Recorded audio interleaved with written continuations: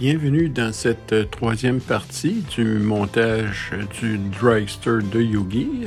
Nous continuons à la page 18. Petite attention particulière à la pièce 86 en la détachant du cadre de pièce. Faites attention, c'est une pièce unique et il ne faut pas la briser en deux. Donc, euh, soyez prudent lorsque vous allez la détacher. Servez-vous d'un exacto pour euh, couper les points d'ancrage.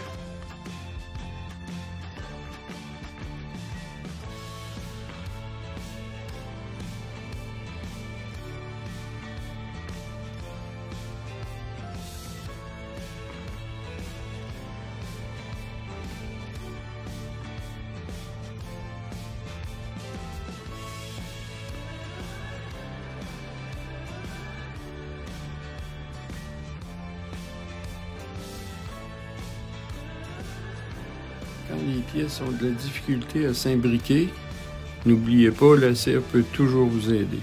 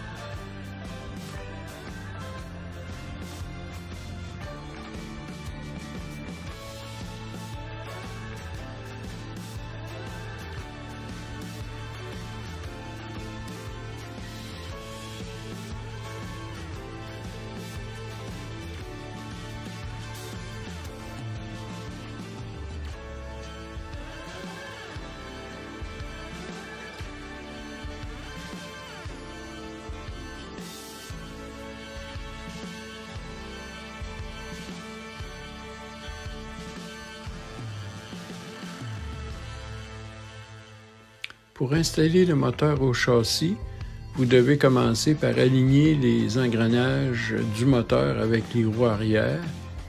Ensuite, vous pouvez abaisser le moteur au châssis et l'installer définitivement.